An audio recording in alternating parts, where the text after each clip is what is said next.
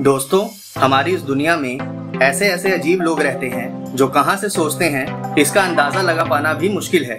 और आज मैं इसी से रिलेटेड एक इंसिडेंट आपके साथ शेयर करने वाला हूँ। लेकिन वीडियो शुरू करने से पहले दोस्तों अगर आप हमारे चैनल पर नए हैं तो इस चैनल को सब्सक्राइब करके बेल आइकन को ज़रूर दबाएँ जिससे आपको हमारी सारी लेटेस्ट वीडियोस की नोटिफिकेशंस मिलती रहे।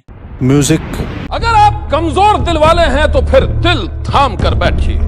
ये है रफेल सैम्यूअल। गौर से देखिए इस वहशी दरिंदे को।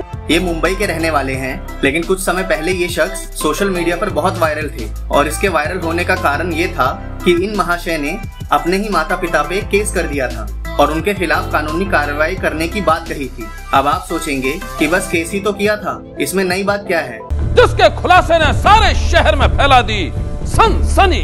तो मैं आपको बता दूँ दोस्तों कि इसके केस करने का रीजन जानकर आप बहुत हैरान भी होंगे और आपको बहुत हँसी भी आएगी। अब हम आपको दिखाने जा रहे हैं एक ऐसे पाखंडी की दास्तान जिसे देखकर आप भी सिहर उठेंगे। इस इंसान ने अपने माता पिता पर कोर्ट में केस इसलिए किया था क्योंकि इसका मानना है कि इसके माता पिता ने बिना इसकी परमिशन के इसे पैदा कैसे किया।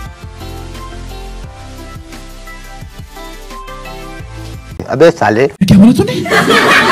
कैसी अपमानजनक बातें कर रहा है लड़का ये? कोई सेंस है इस बात की? हराम के पिल्ले तू है कौन? अब मेरी समझ में ये नहीं आ रहा है दोस्तों और ये कितना मुश्किल है समझना कि इसके माता पिता इस गधे को पैदा करने से पहले इसकी परमिशन कहाँ से और कैसे लेते बेटा तुम चाहते क्या हो? कैसे कैसे लोग रहते हैं यार यहाँ पर? कौन है ये लोग? कहाँ से आते हैं क्या क्या करूँ मैं इसका? क्या करूँ?